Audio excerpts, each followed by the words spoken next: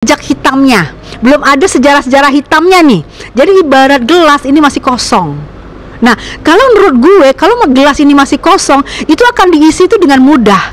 Tapi kalau dia dia full penuh dengan jejak-jejak digital yang hitam, dia akan susah untuk diisi. Tapi kalau gelas kosong diisi dengan kebaikan dengan Pak Prabowo, dengan kenegara negarawanan Pak Prabowo, dengan kepinternya Pak Prabowo, dengan ketegasnya Pak Prabowo, diisi di gelas, gelas ini masih kosong, pasti akan menampung. Diisi dengan kebaikan pasti akan keluarnya baik. Itu yang aku uh, uh, yang aku uh, udahlah gue memutuskan gue dukung Prabowo Gibran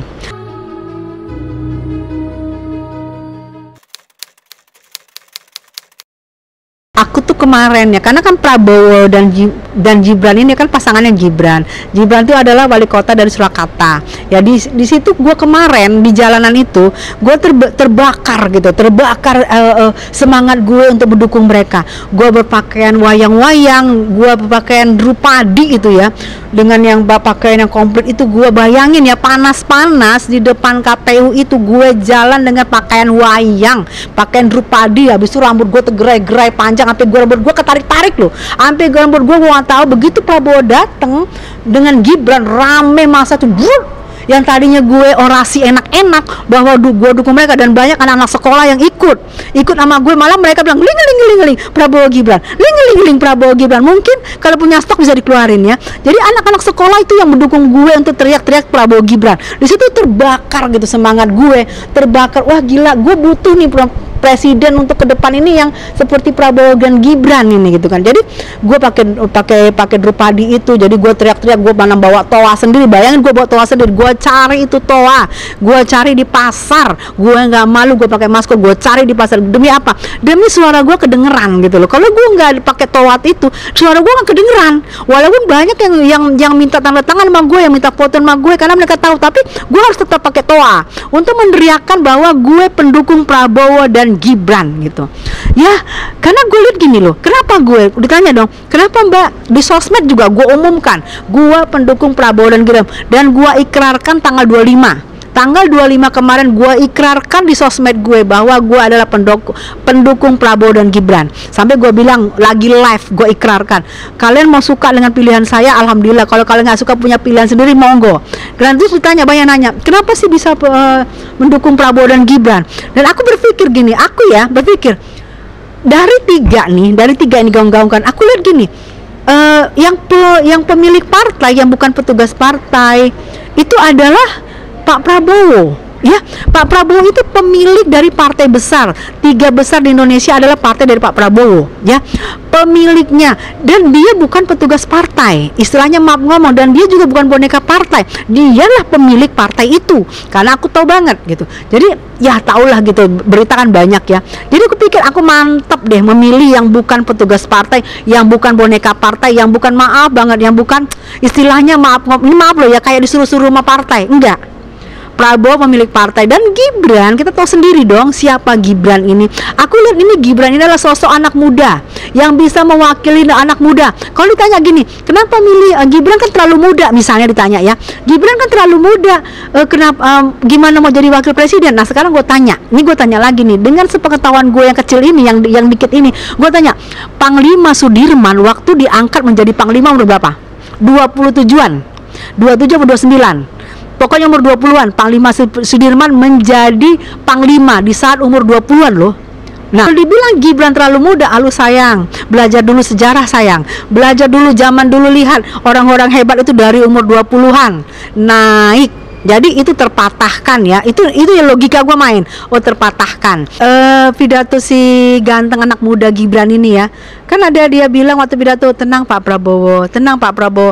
Aku lihat gini dari sikap diamnya dari sikap tenangnya dari dari dia menghadapin gini loh. Jadi dia menganggap Pak Prabowo ini sebagai seorang bapak ya. Sebagai seorang ayah ayah yang wibawa ayah yang dia yang dia segenin.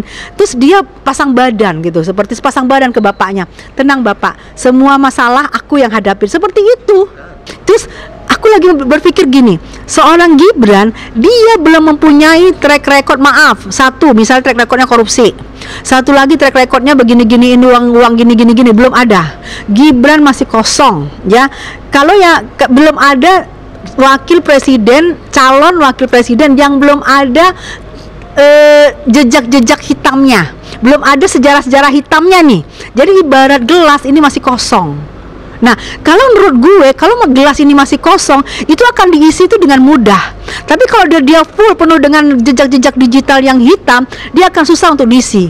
Tapi kalau gelas kosong diisi dengan kebaikan dengan Pak Prabowo, dengan kenegara negarawanan Pak Prabowo, dengan kepinternya Pak Prabowo, dengan ketegasnya Pak Prabowo diisi di gelas, gelas ini masih kosong, pasti akan menampung. Diisi dengan kebaikan pasti akan keluarnya baik.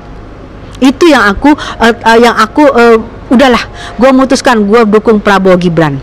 Tanggal 25 kemarin gue putuskan gue horasi di jalan diikutin sama anak-anak sekolahan diikutin sama mereka tanpa gue dan mereka gue nggak kenal. Gue hanya lihat di di di apa, uh, di di jalanan itu.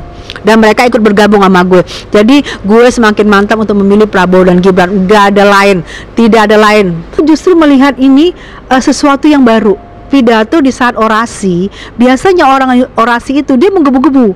Wahai selamat siang bla bla bla pilih saya. Saya gini-gini. Tapi ini lain, lain daripada yang biasa aku lihat. Lain daripada yang biasa yang orasi. Dia dengan tenang, dia maju dengan tenang, dengan mukanya tenang, dengan mukanya yang teduh nih anak muda Cuman ngomong gini, tenang saja Pak Prabowo, tenang, tenang saya sudah di sini. Dia tuh pidatonya speaksnya tuh yang bukan yang norma, normatif, yang teriak-teriak, yang bilang dukung saya, yang bilang wow saya dari sini gini-gini, nggak mempengaruhi orang. Jadi dia cuma dia nggak pernah nggak mengaruhi orang. Ya saya di sini pilih saya, tapi dia malah menenangkan, menenangkan seorang bapak bangsawan ini, bapak negarawan ini. Dia menenangkan tenang saja bapak, saya ada di sini. Artinya apa? Selama ini mungkin bapak uh, memikirkan siapa yang mendampingin bapak, tapi inilah saya seorang anak muda, seorang anak muda yang menghormati bapak, yang seorang anak muda yang mengagumi bapak. Saya ada di sini tenang saja bapak. Jadi dia begitu menenangkan Pak Prabowo coba.